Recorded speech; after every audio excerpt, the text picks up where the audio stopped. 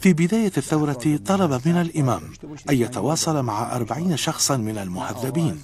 قال له إنه يجب أن يساندك أربعون شخصا من المهذبين وذلك للمواقف الخاصة.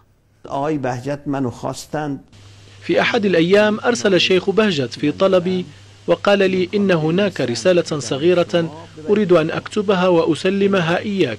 لكي تأخذها للإمام الخميني. كتب الرسالة ووضعها داخل مغلف وأخذت المغلف بنفسي إلى جمران وسلمتها للإمام. فتح الإمام الرسالة وقرأها وقال مرتين بلغوه سلامي وقولوا له نعم سوف أنفذها. أنا لم أكن أعرف ماذا كتب فيها ولا حتى ماذا حدث فيما بعد. كل رسالة كانت تأتي للإمام كان يقرأها ويضعها على الطاولة ولكن هذه الرسالة وضعها في جيبه. لقد وضع الإمام رسالة الشيخ بهجت في جيبه وقال بلغوه سلامي وقولوا له نعم سوف أنفذها. إمام نامه ایشون رو گذاشتن جیبشون.